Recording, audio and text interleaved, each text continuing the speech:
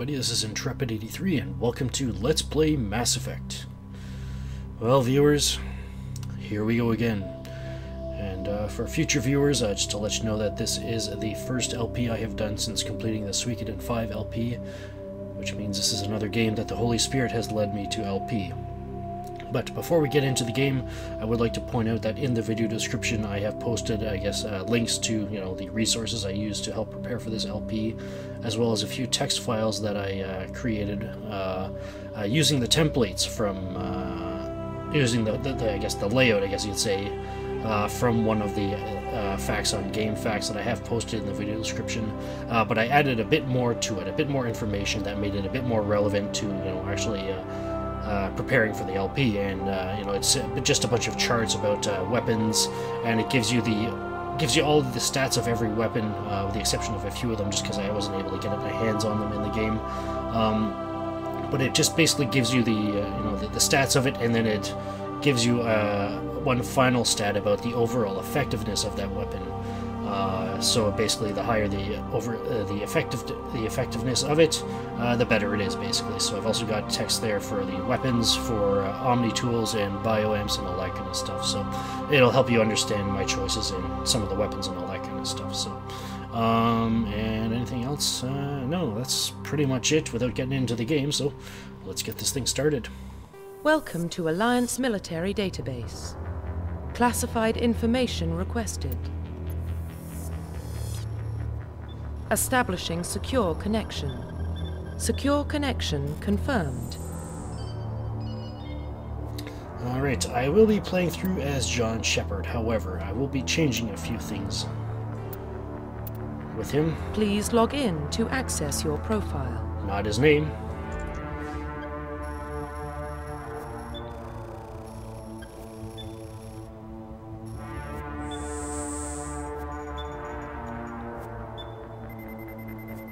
Warning, data corruption detected.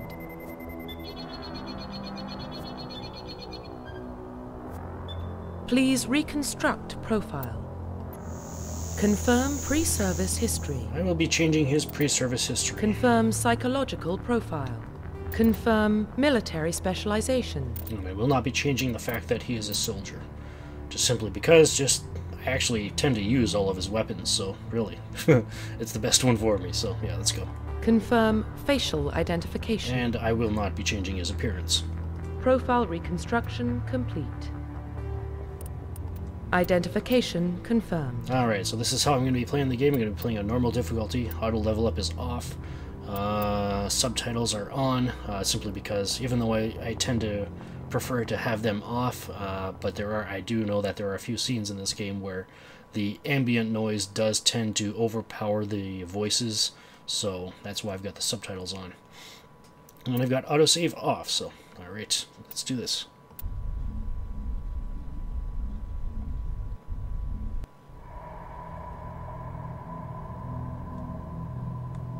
Well, what about Shepard? He grew up in the colonies. He knows how tough life can be out there. His parents were killed when slavers attacked Mindoir. He proved himself during the Blitz held off enemy forces on the ground until reinforcements arrived. He's the only reason Elysium is still standing. We can't question his courage. Humanity needs a hero, and Shepard's the best we've got. I'll make the call. In the year 2148, explorers on Mars discover the remains of an ancient spacefaring civilization in the decades that followed, these mysterious artifacts revealed startling new technologies enabling travel to the furthest stars. The basis for this incredible technology was a force that controlled the very fabric of space and time. They called it the greatest discovery in human history. The civilizations of the galaxy call it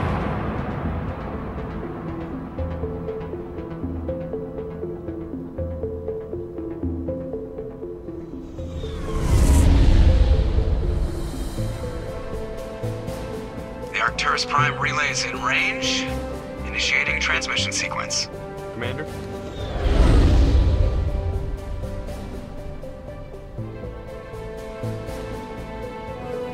We are connected. Calculating transit mass and destination. The relay is hot, acquiring approach vector. All stations secure for transit.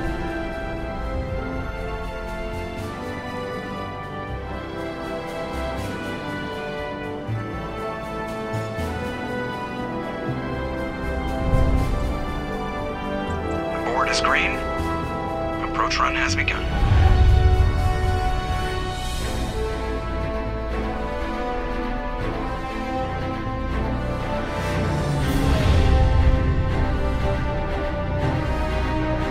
Hitting the relay in three, two, one.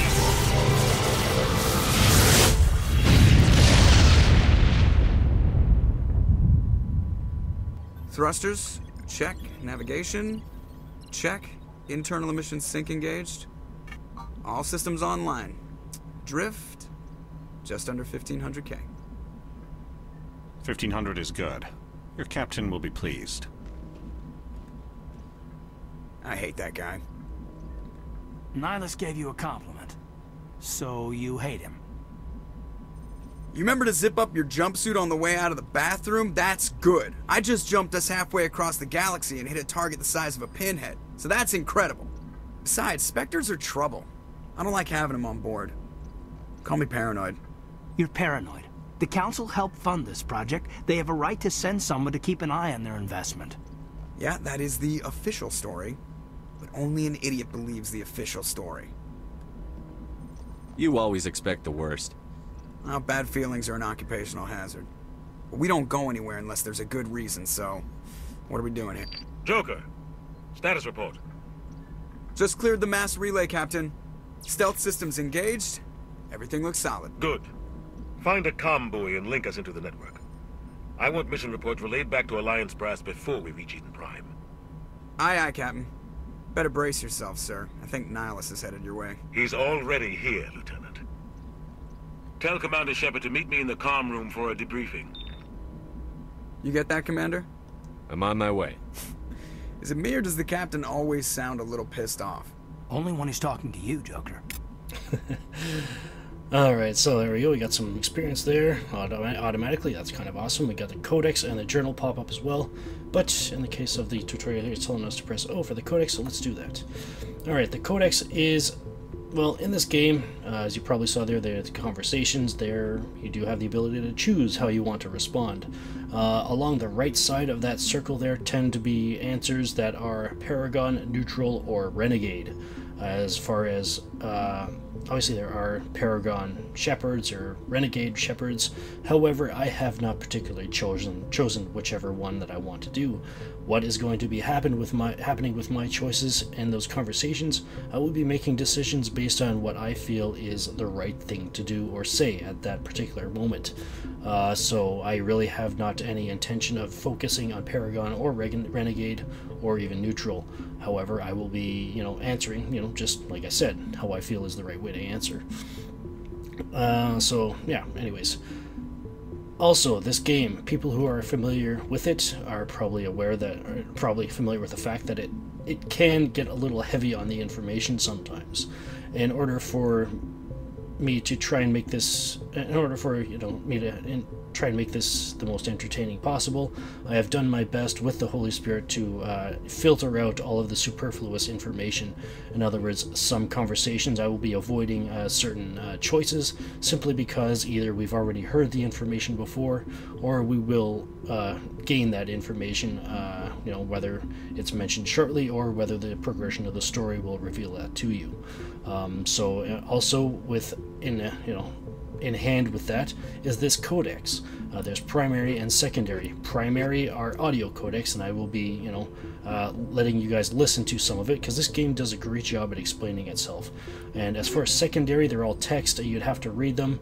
I'm only going to read one, uh, but if you ever play this game or if you are playing along, I would actually recommend reading some of it just to find out more about the lore of the, the of I want to say world, but technically this is a galaxy in this game. So, but yeah. So in this case, I will be reading the personal history summary. I will also post this in the video description for you guys to read. And this is what the basis of this uh, Commander John Shepard will be for this game. Um, and the choices that I do choose throughout the conversations will I will be doing my best to reflect on this.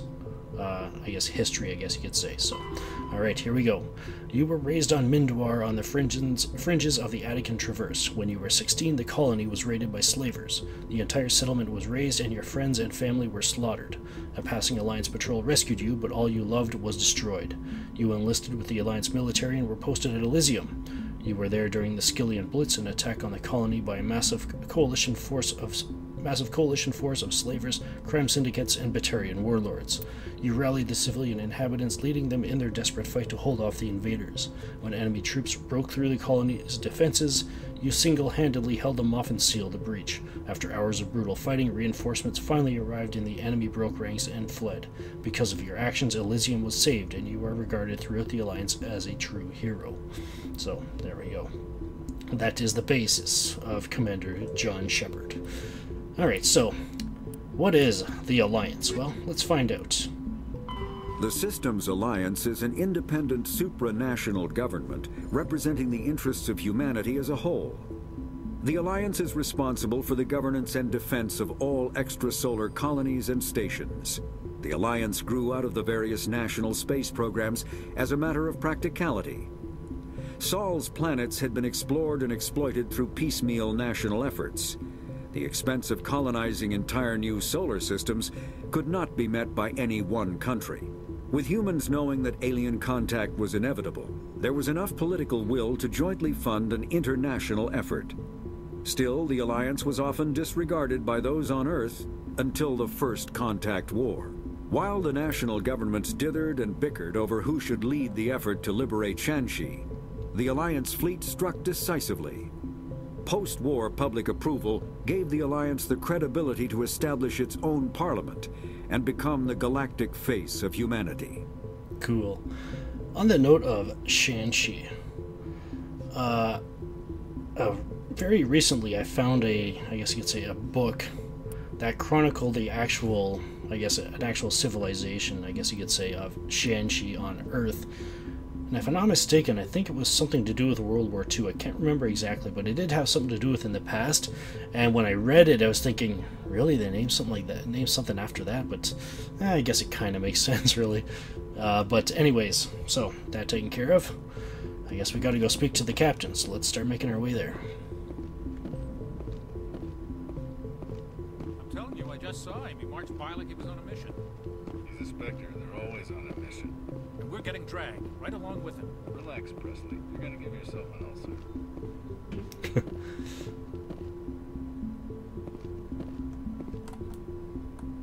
Congratulations, Commander. Looks like we had a smooth run. You heading down to see the captain? Sounds like you don't trust our Turian guest. Sorry, Commander. Just having a chat with Adams down at engineering. It didn't mean to cause any trouble. But you have to admit, something's odd about this mission. The whole crew feels it. You think the Alliance brass is holding out on us? If all we're supposed to do is test out the stealth system, why is Captain Anderson in charge? And then there's Nihlus. Spectres are elite operatives, top covert agents. Why send a Spectre, a Turian Spectre, on a shakedown run? It doesn't add up. I'll see if I can get some answers when I see him. Good luck, Commander. Hmm. Wait, what, what's so special about Turians? Not the kind of place Spectres visit. There's something Nihlus isn't telling us about this mission. That's crazy. The captain's in charge here. He wouldn't take orders from a Spectre. Not his choice, Doc. Spectres don't answer to anyone. They can do whatever they want. Kill anyone who gets in their way. Oh, you watch too many spy vids, Jenkins. What do you think, Commander? We won't be staying on Eden Prime too long, will we? I'm itching for some real action. I sincerely hope you're kidding, Corporal. Your real action usually ends with me patching up crew members in the infirmary. You need to calm down, Corporal. A good soldier stays cool, even under fire. Sorry, Commander, but this waiting's killing me. I've never been on a mission like this before, not one with a Spectre on board. You're from Eden Prime, aren't you, Jenkins? What's it like? It's very peaceful, Commander. They've been real careful with development, so you don't have any city noise or pollution. My parents lived on the outskirts of the colony. At night, I used to climb this big hill and stare across the fields back at the lights from the main settlement. It was gorgeous. But when I got older, I realized it was a little too calm and quiet for me. That's why I joined the Alliance. Even Paradise gets boring after a while. Any idea why Eden Prime was chosen as our destination? Not really sure, Commander. Eden Prime's one of our most stable colonies. Good place to take the Normandy for a shakedown run, I guess. No real danger there. There's gotta be something else going on. We've got a Spectre on board. That's why I'm so wound up. I can't wait for the real mission to start. Just treat this like every other assignment you've had and everything will work out. Easy for you to say. You proved yourself in the Blitz. Everybody knows what you can do. This is my big chance. I need to show the brass what I can do. You're young, Corporal. You have a long career ahead of you. Don't do something stupid to mess it up. Don't worry, sir. I'm not gonna screw this up. The captain's waiting for me. Goodbye, Commander. Hmm, sounds like this Nihlus guy, this Turian Spectre, is kind of got the crew interested. Maybe it's about time we found out a bit more about who Turians are. Roughly 1200 years ago, the Turians were invited to join the Citadel Council to fulfill the role of galactic peacekeepers. The Turians have the largest fleet in Citadel space, and they make up the single largest portion of the Council's military forces. As their territory and influence has spread, the Turians have come to rely on the Salarians for military intelligence and the Asari for diplomacy. Despite a somewhat colonial attitude towards the rest of the galaxy, the ruling hierarchy understands they would lose more than they would gain if the other two races were ever removed. Turians come from an autocratic society that values discipline and possesses a strong sense of personal and collective honor. There is lingering animosity between Turians and humans over the First Contact War of 2157, which is known as the Relay 314 incident to the Turians. Officially, however, the two species are allies, and they enjoy civil, if cool, diplomatic relations. Interesting. Alright, well, let's talk to Nihlus, I guess, since the captain isn't here yet. Wonder where he is.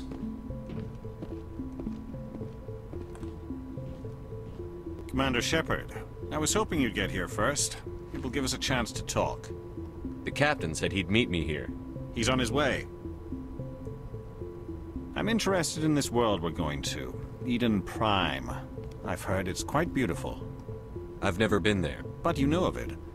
It's become something of a symbol for your people, hasn't it? Proof that humanity can not only establish colonies across the galaxy, but also protect them. But how safe is it really? If you've got something to say, just say it. Your people are still newcomers, Shepard. The galaxy can be a very dangerous place. Is the Alliance truly ready for this?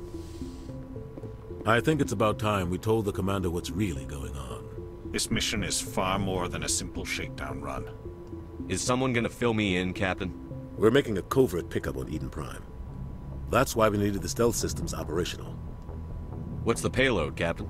A research team on Eden Prime unearthed some kind of beacon during an excavation. It was Prothean. I thought the Protheans vanished 50,000 years ago. Their legacy still remains.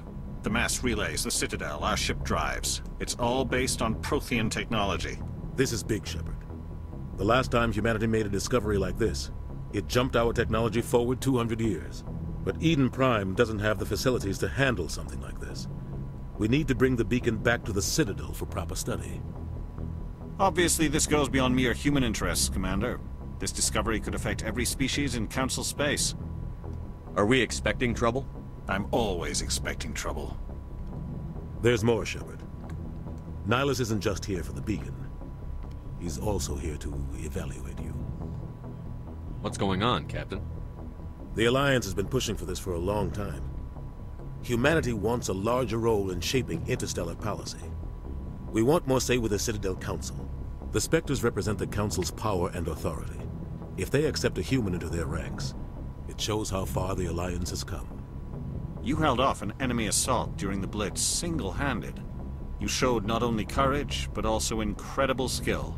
That's why I put your name forward as a candidate for the Spectres.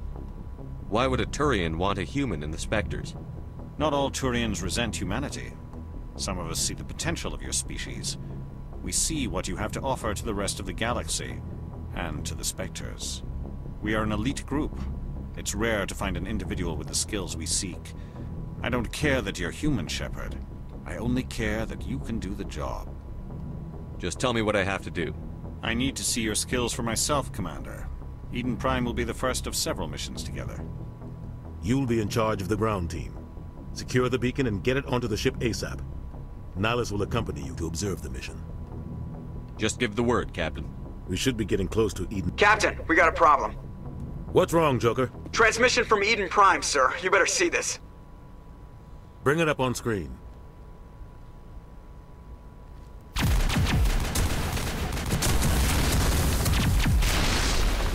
Down!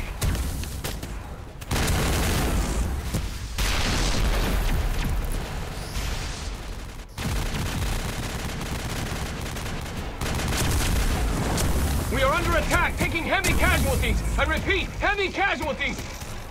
We can't get evac. They came out of nowhere. We need.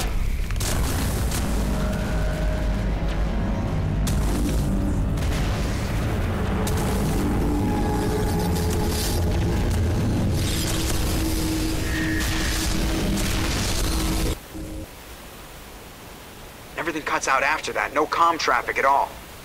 Just goes dead. There's nothing. Reverse and hold at 38.5.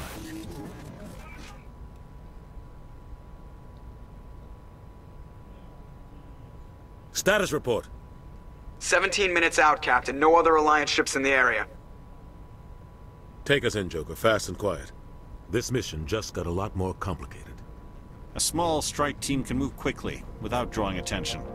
It's our best chance to secure the beacon. Grab your gear and meet us in the cargo hold. Tell Alenko and Jenkins to suit up, Commander. You're going in.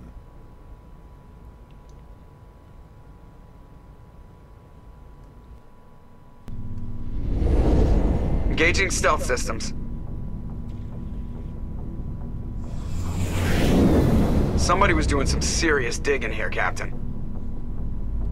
Your team's the muscle in this operation, Commander. Go in heavy and head straight for the dig site. What about survivors, Captain? Helping survivors is a secondary objective. The beacon's your top priority. Approaching drop point one. Nihlus, you're coming with us? I move faster on my own. Nihlus will scout out ahead. He'll feed you status reports throughout the mission. Otherwise, I want radio silence. Ready and able, sir. The mission's yours now, Shepard. Good luck! We are approaching drop point two.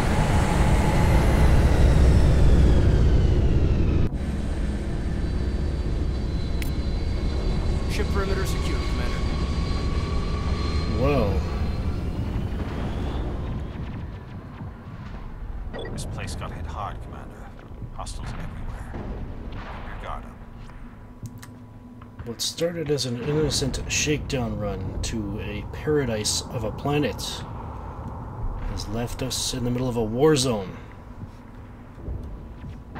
And what was that huge ship in that video feed? And what else is going on here? Well, I guess I'll have to stay tuned and find out. This is Entrepid83 signing off. But first, let's find out more about who the Spectres actually are. Spectres are agents from the Office of Special Tactics and Reconnaissance and answer only to the Citadel Council. They are elite military operatives, granted the authority to deal with threats to peace and stability in whatever way they deem necessary. They operate independently or in groups of two or three. Some are empathetic peacekeepers, resolving disputes through diplomacy. Others are cold-blooded assassins, ruthlessly dispatching problem individuals. All get the job done one way or another, often operating outside the bounds of galactic law. The Spectres were founded after the Salarians joined the Council. For many years, they operated in secrecy as backroom problem solvers. Only after the Krogan rebellions did their activities become publicized. Assignment of a Spectre is less contentious than a military deployment, but makes it clear that the Council is concerned about a situation. And that even adds more to what exactly is going on here. Well, I guess we'll have to find out. This is Entrepid83 signing off. Thank you for watching and have a good one.